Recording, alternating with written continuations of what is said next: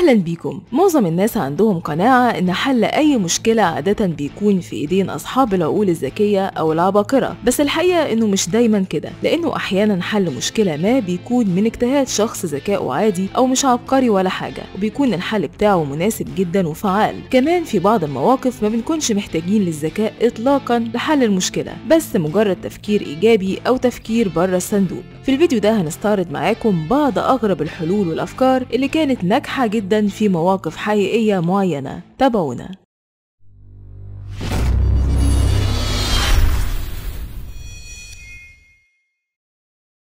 الكرات البلاستيكية. لما فكرت السلطات في مدينة لوس أنجلوس الأمريكية إنهم يمنعوا تلوث المياه في الخزان المحلي لقوا إن تقنية الأشعة فوق البنفسجية مع عنصر الكلور والبروم ممكن تزود المشكلة وتحول مياه الخزان لمياه مسرطنة. فقرروا تطبيق فكرة جديدة مبتكرة وآمنة وهي استخدام الكرات البلاستيكية الصغيرة لتغطية سطح مياه الخزان المحلي وبقية الخزانات. ومن ناحية تانية فالكرات البلاستيكية هتمنع تبخر المياه وهتمنع كمان نمو الطحالب فيها.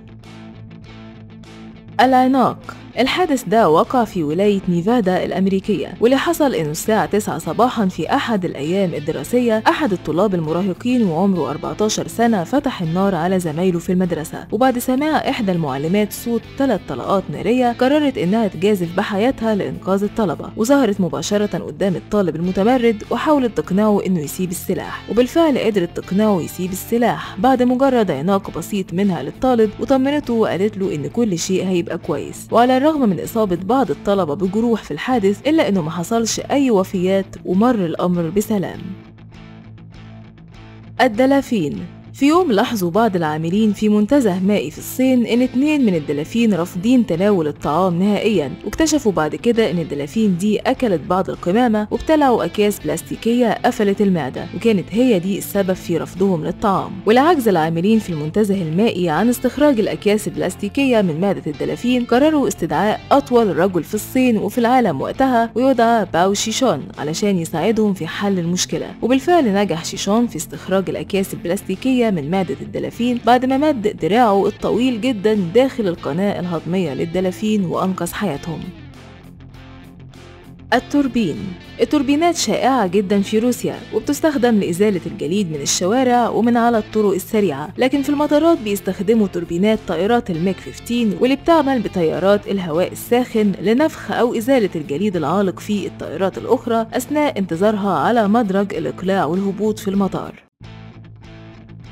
الصرف. بولاوايو هي تاني أكبر مدينة في زيمبابوي ومؤخرا عانت المدينة من مشكلة الجفاف وتبعاتها واللي منها جفاف المجاري وعدم وجود كمية كافية من المية لسحب المجاري من البيوت. المفاجأة إن حل المشكلة دي كان بسيط جدا وعبقري فحل المشكلة بمنتهى البساطة كان على كل المواطنين في المدينة سحب السيفون في بيوتهم في نفس الوقت كل يوم ولمدة 3 أيام وبكده اتحلت مشكلة الصرف في المدينة. النمل. لقرون طويلة تم استخدام النمل في الطب فقبل تطور عالم الطب وظهور التقنيات الطبية الحديثة وخصوصا تقنية خياطة الجروح كانوا الناس بيستخدموا النمل وفكوكه القوية في قفل حواف الجروح وتقطيبها. وبيعتقد إن الطريقة دي ظهرت لأول مرة خلال الألفية الأولى قبل الميلاد وكان شائع استخدامها جدا لحد القرن السبعتاشر الميلادي. الكمبيوتر العملاق. ال super computer أو الكمبيوتر العملاق أو الحاسوب الخارق. للي ما يعرفوش هو عبارة عن كمبيوتر إمكانياته هائلة وبيستخدم لمعالجة كم هائل من البيانات وبيخزن كمية ضخمة من المعلومات والبرامج وهو لا يصلح للاستخدام الشخصي أو في مؤسسة محدودة. والمعروف إن ال super computer غالي جدا ومكلف. ولما قرروا العاملين في معمل القوات الجوية الأمريكية إنشاء super computer فقرروا إنهم يخفضوا التكلفة لتوفير بعض المال. وكانت فكرتهم هي استخدام 1760 وحدة تحكم لأجهزة PlayStation 3 وفسروا الأمر بأنه بالإمكان استغلال تكنولوجيا ألعاب الفيديو الموجودة في الأسواق النهاردة في إنشاء كمبيوتر عملاق بمنتهى السهولة. وقالوا إن تكلفة السوبر كمبيوتر اللي تم إنشاؤه بالطريقة دي كانت حوالي 2 مليون دولار يعني أقل 20 مرة تقريبا من تكلفة إنشاء كمبيوتر عملاق من الصفر. المرايا فيجانيلا هي قرية إيطالية صغيرة بتقع في منطقة جبلية ومشكلة القرية دي إنها محصورة ومعزولة وسط الجبال. وأشعة الشمس ما بتوصلش للبيوت فيها غير خلال 84 يوم بس في السنة. وبقية أيام السنة بتبقى بيوت القرية بالكامل مغطاة بظل جبال القلب العملاقة واللي بتمنع وصول نور الشمس للبيوت. ففكروا أهل القرية في حل للمشكلة دي واتفقوا إنهم يحطوا صف من المرايات الضخمة فوق الجبال علشان تعكس ضوء الشمس على القرية. وتم تنفيذ الفكرة في سنة 2006 وتركبت بالفعل المرايا العملاقة واللي بيقدروا إنهم يتحكموا فيها من خلال الكمبيوتر وبكده اتحلت مشكلة القرية المظلمة.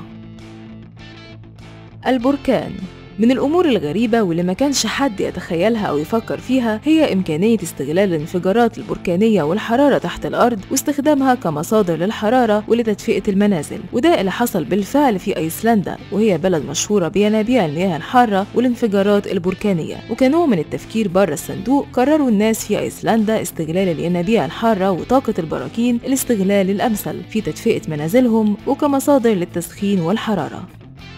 شكرا على المشاهدة. ولو عجبكم الفيديو اضغطوا لايك وشاركوه مع أصدقائكم على مواقع التواصل. وما تنسوش تضغطوا اشتراك للقناة علشان يوصلكم كل جديد.